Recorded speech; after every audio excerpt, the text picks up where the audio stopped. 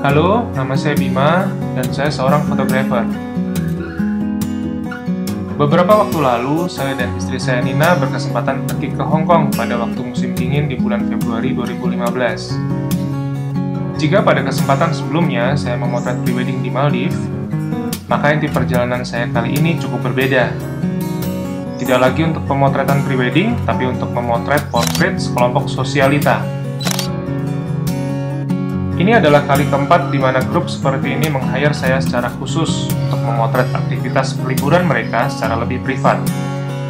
Dari mulai muter-muter di Bali seperti di Suluban Cliff, Westin Resort, dan Karma Kandara, hingga yang sekarang grup ini kembali menerbangkan saya ribuan kilometer untuk menjejakkan kaki kembali di Hong Kong, sebuah negara super sibuk yang tetap sangat cantik untuk dieksplor.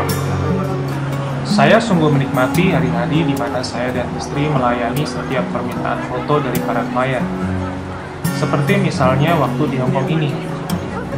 Kita muter-muter dari mulai jam 9 pagi sampai jam 10 malam. Mulai dari motret pagi di sebuah pasar tradisional yang bernama Jun Yeong Street Wet Market, setelah itu lanjut ke kuil tua bernama Wong Tai Sin Temple, lalu ke Canton Road di mana banyak pertokoan yang menjual pakaian-pakaian dari para desainer ternama dunia, hingga berakhir di kawasan sibuk Causeway Bay dan Avenue of Star.